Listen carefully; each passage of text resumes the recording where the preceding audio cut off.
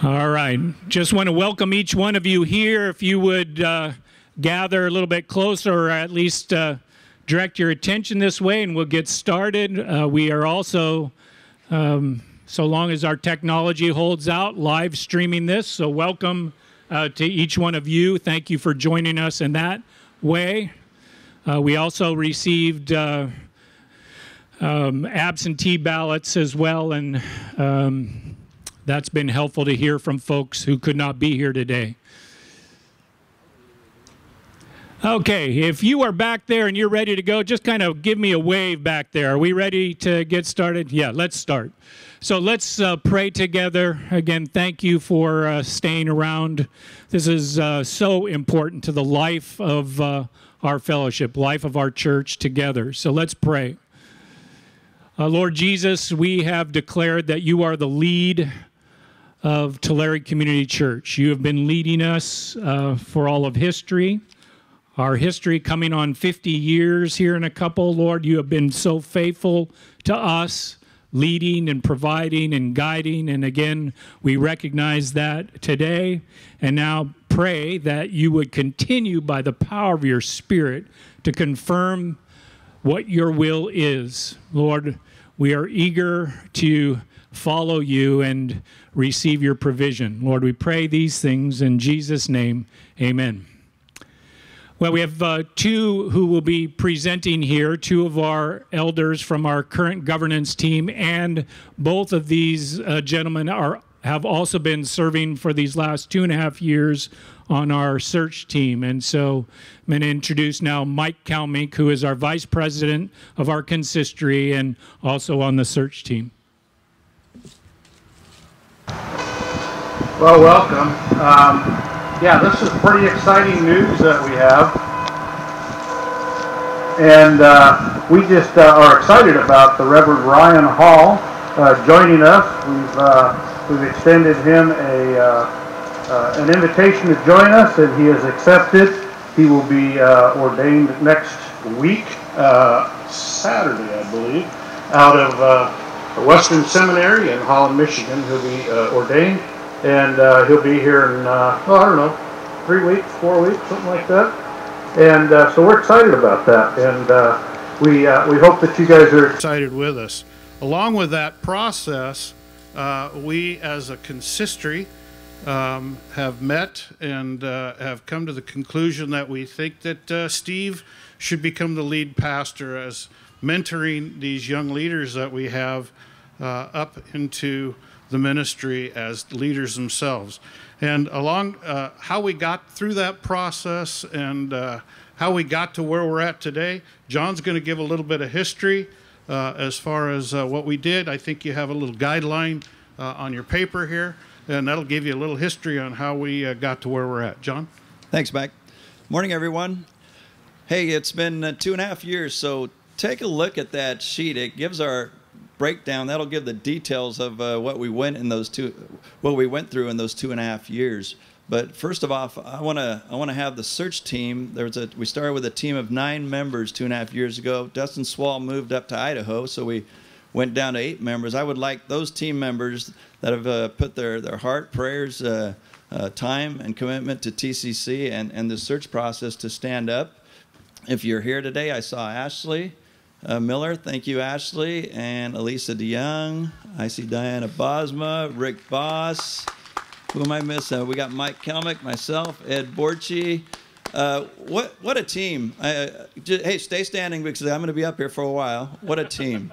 Uh, I, I, just want to you know call out everybody individually. Ashley, you brought a lot of lot of energy and, and vibrancy to the committee. A lot of thinking outside of what we just think normally sometimes, and uh, thank you for that, Ashley. Elisa, you know, Lisa had a baby during the whole term, two and a half years. She pops out a baby, and she stayed on the team. I, I thank you, Elisa, for doing that because uh, she was saying, well, maybe I should step off, and, and she, she, she strove through that. I appreciate you, Elisa. And uh, we had a little tough time with the Zoom interviews, although, you know, so Elisa was home, you know, doing a lot of cooking demonstrations while we're Zooming. it was hard to focus on that one. But uh, thanks, Elisa. That was fun. Uh, Ed, definitely some wisdom you brought and your friendship, Ed, to the team. I thank you for that. Uh, definitely uh, bring uh, the heart and soul of what TCC is about here today. Uh, Blake, thank you, Blake Wilbur. Uh, thank you for being a part of the team. Uh, your friendship and, and, and your, your, wisdom. I mean, Blake, you're one of the younger guys on the team, but I, I see your wisdom, your intercession, and your gift that you have and you brought to the team. And Rick, Rick is one of those guys. He tells it like it is. Rick Boss, thanks for uh, being being that rock on the team and, and part of a consistory. Rick was a deacon when we started and then termed out when we finished. But Rick, I thank you for being a part of the team. And, and you want to talk about a workhorse? You guys know how hard Diana Bosma works? Oh man, Diana, thank you. Your your hard work. She was the glue of our organizational structure. And, and if if a team doesn't have someone like Diana on that team, it, it doesn't uh, function well. We're kind of all stumbling over each other. But Diana, I thank you for, for doing that, uh, part of that team. And then Mike, Mike, I thank you for uh, being the yin to my yang. I, I, have a coach uh, I coach with in basketball, and he always uses that term, the yin and yang. Mike and I all, all you know, we see some things differently, but in the end, the goal was was accomplished. And uh, and and Mike, I thank you for your friendship and and you know, we uh, we're here after two and a half years of of this teamwork, and, and you were definitely a part of that. And thanks, Mike. But again, uh, got a quick comment here too, as we get to the process. Uh, oh, you can sit down, team. Thank you. One more round of applause for the two and a half years they put into it. And real quick comment about Dustin Swall. I don't know if he'll ever see this or get this, but I'm going to send him a text too. But Dustin Swall was one of those guys, and Blake Wilbur. You know, you guys realize we, we listened to so many sermons as a team, and Dustin Swall and Blake were the, the, the hard, true guys that were on the tractor listening to sermon and sermon and sermon, and, and they had notes broke down on a lot of people all the time because they were diligent. And Dustin was one of the, the, the, kings of that, is listening to those sermons in those tractor tractor times. Uh, and then this is what your team went through we are seeking God's divine guidance through all this. Ty, how appropriate it is that you have, we got to be all in. You got to humble yourself and you got to submit. And we got to accept something that maybe doesn't look like what we we're looking for. And then finally, we're thankful and fearful. You know, how humbling is that? You know, I hope you guys can all feel that in all this. So, we as a team looked at uh, two two real good candidates. Uh, we had uh, a guy named Dan Gillette and Tim Breen came through here. Boy, those guys were those guys are pillars within our RCA church. When we looked at them, we looked at them steadfastly. They looked at us, and part of part of what we see, and if you look at that uh, little breakdown in that paper, is what we found out was you know what the Spirit wasn't moving, uh, not in them and, and not in us to put us together and we are all right with that because uh, you know that's what we kept praying about was where are you directing us god? Where, where is this leading us?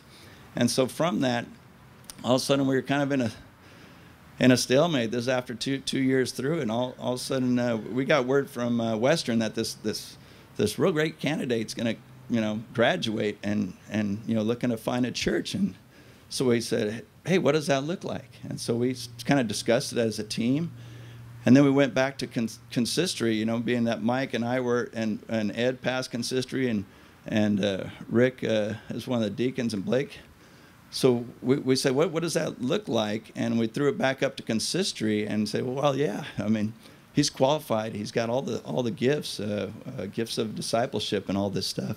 And, and also in the same token, our, our staff what a what a bang up job they, they did. You know, the two years that we're we're going into before COVID, pre COVID. You can't judge it based on COVID, but I want to I want a round of applause for the staff in the two years without a lead pastor. Although there was an interim lead, and Steve, we appreciate you for that, and that, I think that's what led us here.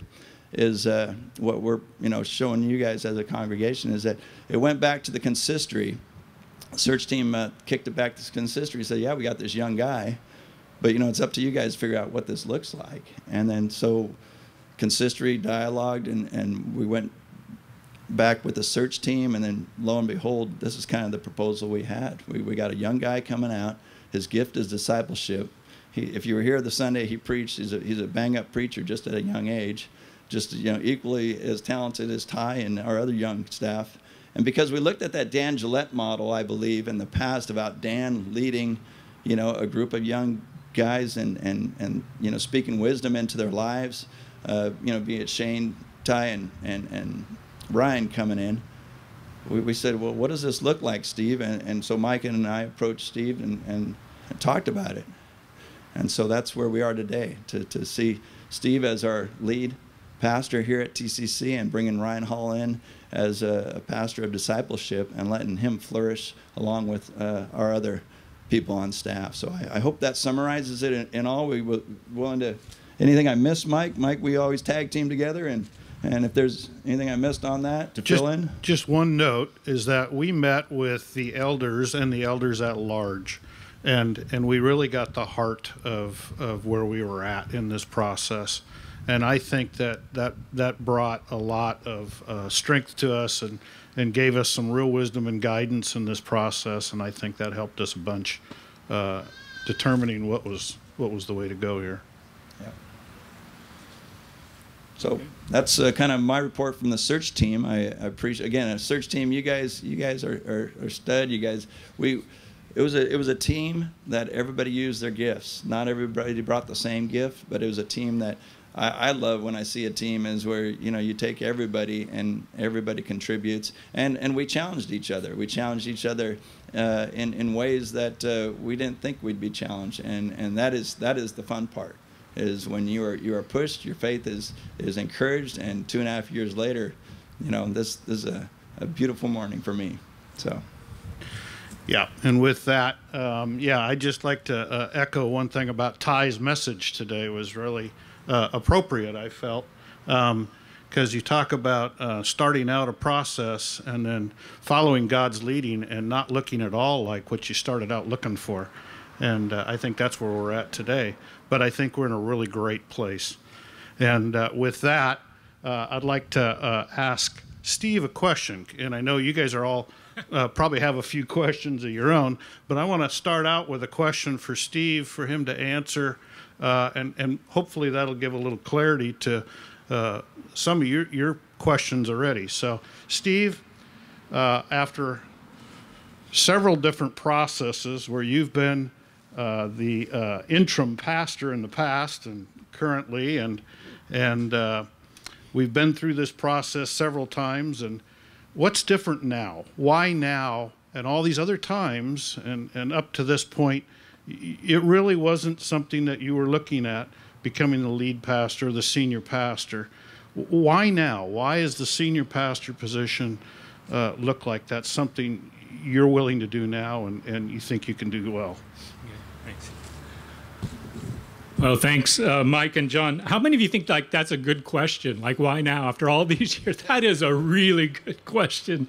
Uh, one that, yeah, I've I've asked myself, and uh, Susan and I, and I've been thinking about it and talking about it as well. It certainly wasn't something, um, you know, that I was looking at, uh, but but it's the right thing, and I am encouraged to share with you at least a few bullet points uh, as to how we got here and why I'm sensing that uh, this is a good thing. So maybe the first place to start is just again to reiterate my love for Tulare Community Church, my my love for you over these 34 years. And so, as I think uh, about this particular time in our history, uh, I believe that this is the very best way that I can love and serve Tulare Community Church. During this part of my life and career, um, all things considered, I believe this is it is the call that the Lord has on me to serve you and serve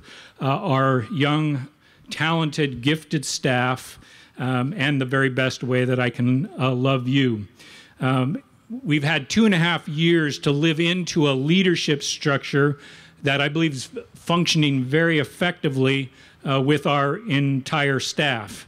Uh, in this leadership structure, most importantly for me personally, is that while leading and mentoring our staff, it keeps me in my areas of passion and of giftedness. If I look back at other opportunities and other times in our history where there was a possibility of stepping into a lead pastor position. It would have pulled me out of areas that I'm most gifted by the Holy Spirit and most passionate about. So, caring would have had to be put aside, or reaching out into the community, or mentoring uh, our uh, young staff. Some of those kind of things um, wouldn't have. Uh, yeah, wouldn't have been um, so much lifted up. So the fact that I can continue to shepherd you, to care for you, to care for our community at large, and then um, preach when it makes sense. I mean, we have such effective preachers uh, with our current um, staff, with uh, with Ty and Shane, and now with Ryan coming on. I will still preach on occasion, but uh, only when it makes sense, and um, that's a good thing. That's a good thing for that's a good thing for you, and that's a good thing for me that I am not preaching all the time. Um, if it had not been for the long wait, and this is where you see the Lord leading, if it had not been for this long two two plus years wait, we would have not seen uh, our um, what we actually had right here among us, and so that has been um, exciting to see our staff. They're so gifted, and it has helped us not only get clearer on what my passion areas and my gifted areas are, but also on the areas that our staff are gifted uh, and passionate about. And that includes now Reverend Ryan Hall, who will be a great addition to our team.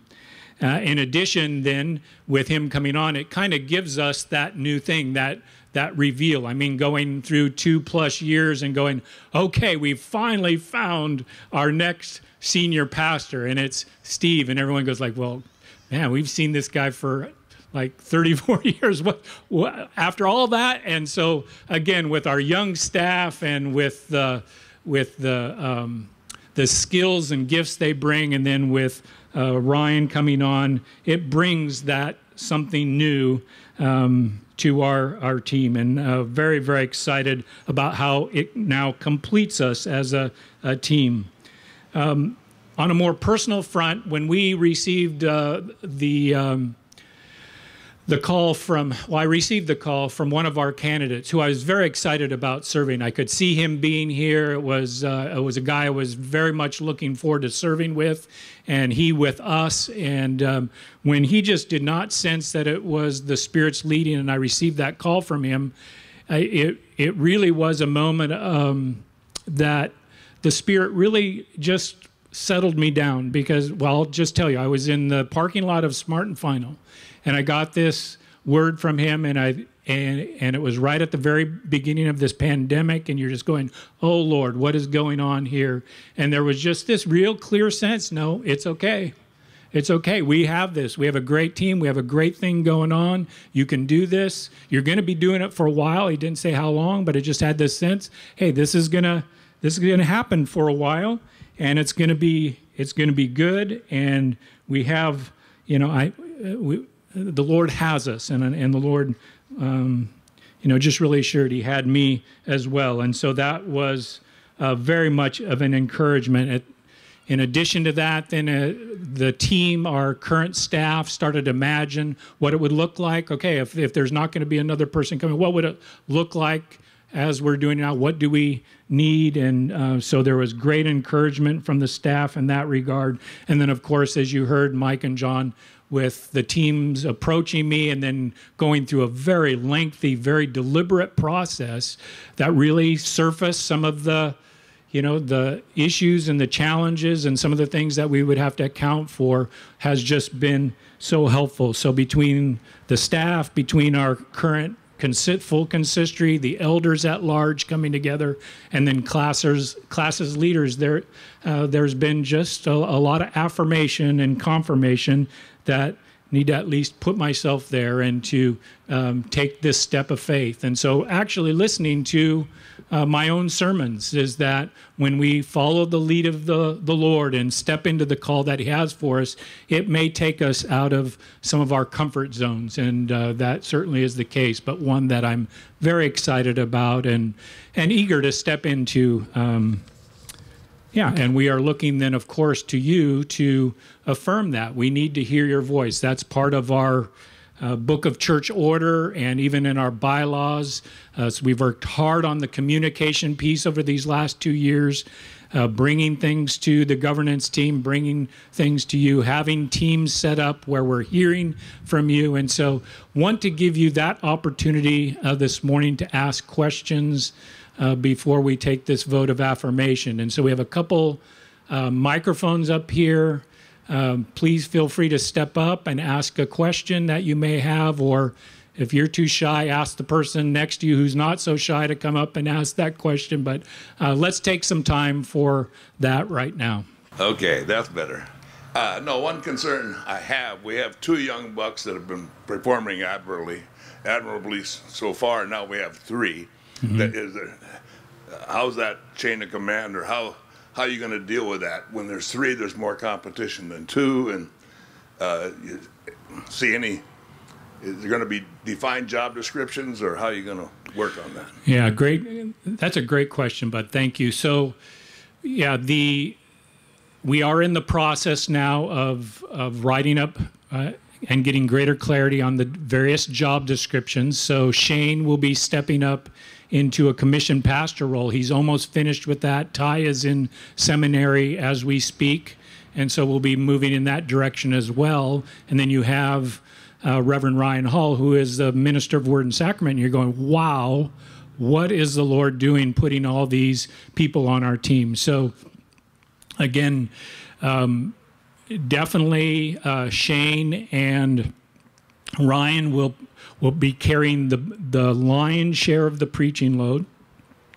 Ty will as well, although you have to remember Ty is also um, in lead of our student ministry, so he is sharing the word weekly, and he's just a, a consummate uh, team player. He's amazing what he brings to our staff and can do it. And so he will he will continue to preach as well, but maybe not as much, and me neither. But that does do something of uh, what I think is our greatest challenge right now, and that is creating other opportunities because we are not going to put people on the bench and just have them sit there.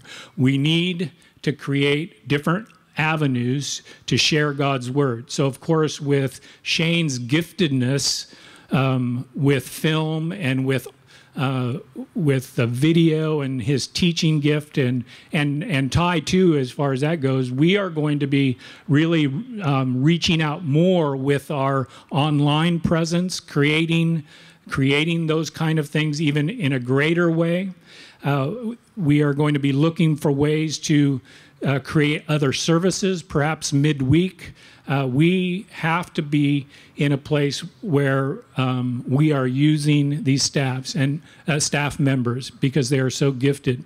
Uh, you mentioned competition, and I'm I I want to just uh, encourage you to keep encouraging um, our leaders and and um, yeah, just keep encouraging them and by all means stay away from oh this is my favorite that's my favorite. I mean we are competing with each other against the enemy not against each other. And so again uh, be a part of that encouragement as well.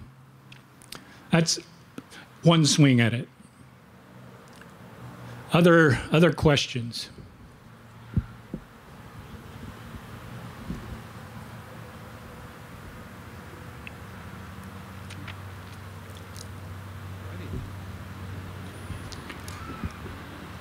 Okay, well, then I'm going to um, invite you then, if you are a committed disciple slash member of Tulare Community Church, if you would just take a moment to prayerfully uh, fill out that um, ballot card.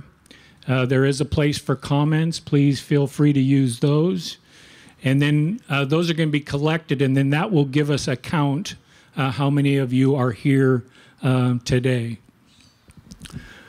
So let's pray. Father, we're going to do our very best now to um, follow your lead. And um, again, we offer ourselves to you. I offer myself to you, Lord. I love you and I love this church. And I pray that where you've led now, that you will continue to give vision and provision. Lord, expand, oh Lord, expand our, our reach in your name, Jesus. Online, in the community, all over the place. Lord, it is not by accident that we are out here on the front lawn, Lord. Again, being led to be a blessing to our community. Father, we thank you. We thank you in Jesus' name. Amen. Okay, if you would fill that out, and then we have uh, some of our deacons, if you could walk around and uh, collect those, please. And uh, bring those forward.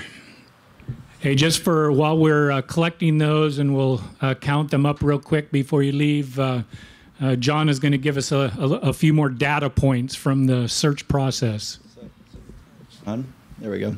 Hey, so every everyone, if just another shout out to the team. We we looked at almost over 75 candidates. When I talk about listening to sermons, we, we went through through lists and lists of, of pastors out there that could be potentials for TCC. Uh, one of the approaches we took, you know, with our relationship with Western Seminary, is uh, reached out to him and said, "Hey, you know, you had all these people that graduated from Western Seminary. Why don't you give us a top three from about a ten-year span of classes?" because uh, you know we have such a good relationship, and so they threw them all out at us. We got 30 names from Western, and we went out, and your team dissected between nine of us. We each took three or four, and we reached out to these people, whether they were looking for a call or not. We said, "Hey, you know, we're looking for some pastors here." And then both times during the, I want to say February to April time span we doubled down as a team feeling that that was a time that God wants us to move hard on this thing because people make decisions in the spring for fall programs, whether they're moving schools and stuff like that. And so we're actually meeting uh, almost every week or every other week. We, we, we got real aggressive during those times, and we, we felt that was a, a fruitful uh, opportunity to go out there and see what's out there. And one thing, just to let you know, we found out from, from one of the candidates says, 20, 25 years ago, there used to be, they called it parking spots. And if, if I may, Steve, there, there, were, there were, the parking spots were full. There were plenty of pastors in plenty of churches. Today, there's a lot of churches that have empty parking spots, meaning there's no pastor in that spot. And so with that, we had one candidate that was actually had a call from two other a couple candidates had calls from two other churches as we were talk in talks with him, or those uh, candidates. So so there it was it was quite a learning process of what's actually going on in our in our our world today as far as pastors go. So so just yeah, uh, uh again it was a educational process for your team, and I just thought I'd throw out some data points for you as they're counting the ballots.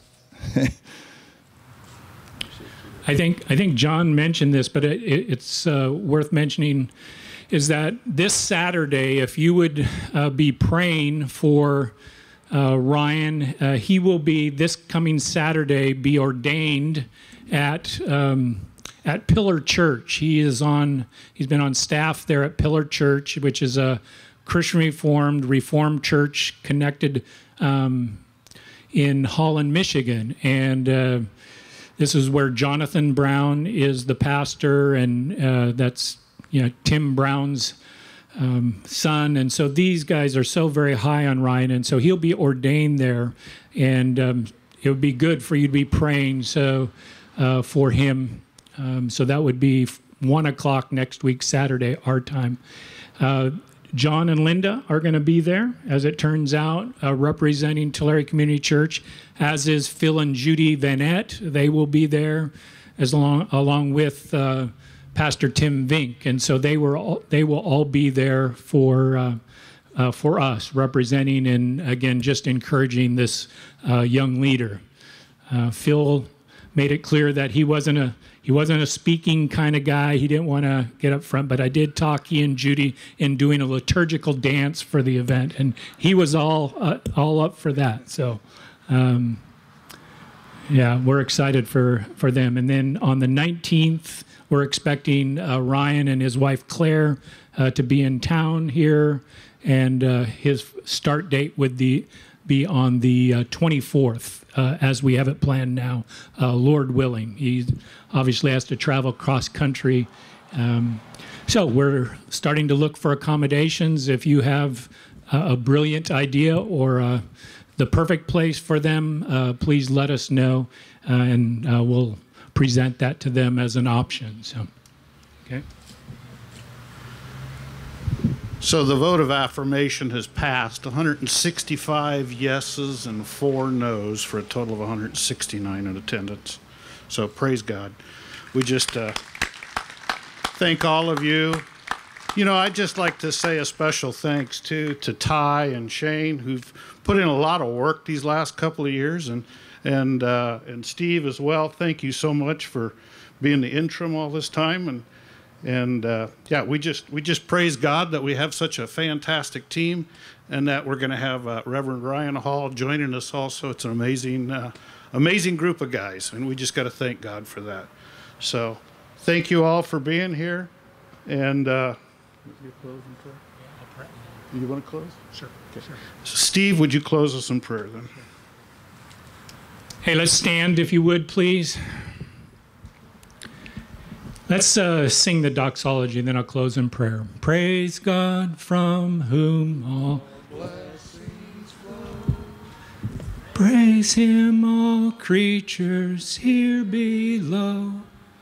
Praise Him above, ye heavenly hosts. Praise Father, Son, and Holy Ghost. Amen. Thank you, Father. Thank you so very much. Find us faithful now and following. In Jesus' name we pray these things. Amen.